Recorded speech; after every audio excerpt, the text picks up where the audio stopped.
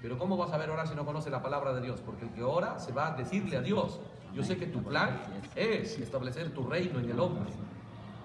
Y sabes, me gusta, me agrada y yo te lo pido. Yo te lo acepto. Sé que no lo vas a imponer, sé que no vas a obligar, pero estoy leyendo cuál es tu plan. Conozco cuál es tu plan, conozco cuál es tu objetivo. Que tu palabra no solo llegue a mi mente, que llegue a mi corazón. Porque del corazón sale lo bueno lo malo. Sé que el problema está en mi corazón y sé que nunca va a cambiar porque, porque Daniel miró, dijo, los reinos de este mundo no pueden salir fuera de escena, salvo venga el reino de la piedra cortada sin manos. Y ese reino despedaza los otros cuatro reinos y se establece como una gran montaña, un gran reino. Entonces el creyente pide ese reino. Ese reino tuyo, sé que ese reino tuyo, al establecerse en mí, recién puede quebrar todos los demás reinos. Lo puede reducir al polvo. Y de esa manera, pues venga tu reino a nosotros. Él dijo que debemos pedir eso. ¿Por qué? Porque es el plan de Dios, pero Dios no lo va a obligar.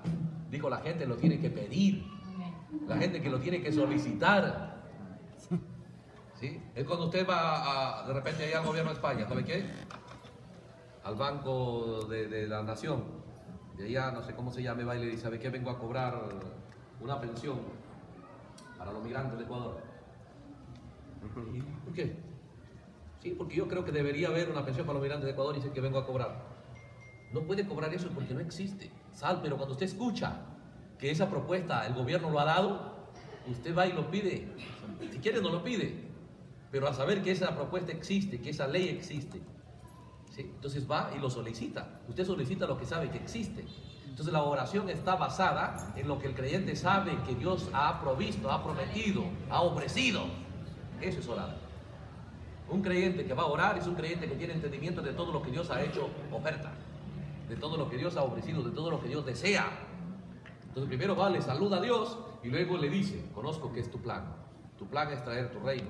Tu plan es sacar los reinos de esta tierra. Porque venga tu reino, para que el reino de Él venga, tiene que salir los reinos de este mundo.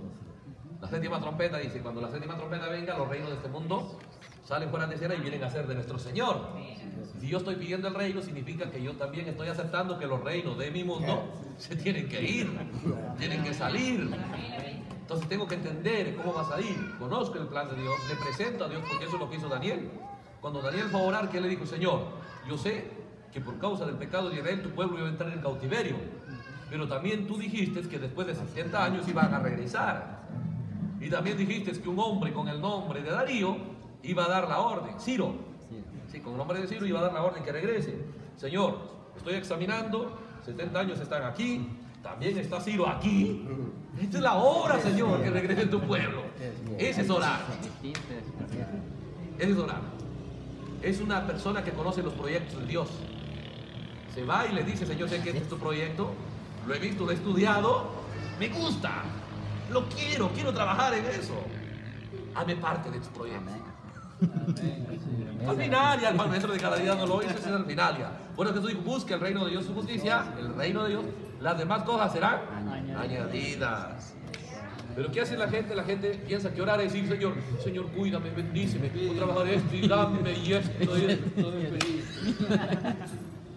Y nada de la promesa. Nehemías, ¿cómo oró? Entonces dijo, eso no es orar. La persona que va así nunca ha orado. Por eso cuando le escucharon a Jesús, los discípulos enséñanos a orar, Señor. Nosotros hemos estado mal.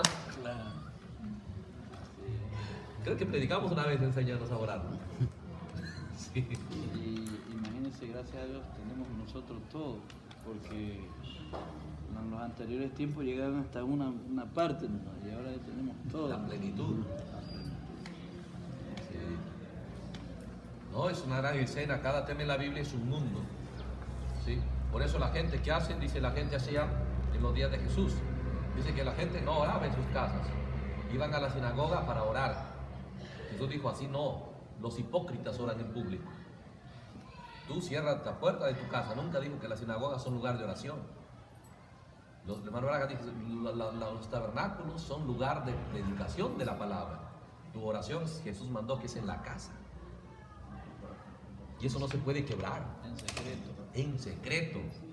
Porque si tú buscas que te vean orando en público, eres un hipócrita que te digo que recibirás tu, tu recompensa, tu juicio. Y dicen que entre más ¿cómo le digo? Entre más, o sea, digamos, dos, tres de la mañana es mejor que la oración. Claro, al- de temprano me busca. Porque está más, por Sí. cambio, 5 o 6 de la mañana ya está más congestionado todo. Entonces, ¿pero qué hace la gente? Mueve a las iglesias a orar. Y eso no enseñó Jesús. Jesús no enseñó eso. A veces dice, hermano, pasa allá al altar a orar. Eso no es bíblico. ¿Sí? Entonces, empezar no solamente es la forma de orar, también es, es, es, es, es cómo uno lo hace. Porque Jesús enseñó eso. Él dijo, nunca ores para ser visto. Eso la gente no en su casa, pero van ahí doblados sus rodillas en cada culto. No es esa la enseñanza. Sí, el profeta dice que la gente se postra en el altar por causa de que salió del catolicismo. El catolicismo le enseñó postrarse ante los altares. Eso es paganismo. ¿Sí? Una persona nunca debe postrarse ante ningún altar. Eso es paganismo. Entonces, pero la gente lo hace, los tabernáculos ahí llevan a la gente a orar cuando el profeta ya enseñó que es diferente. Es tremendo. Ese está en un mensaje Cristiano. paradoja, ¿no? Sí, para. Ahí está el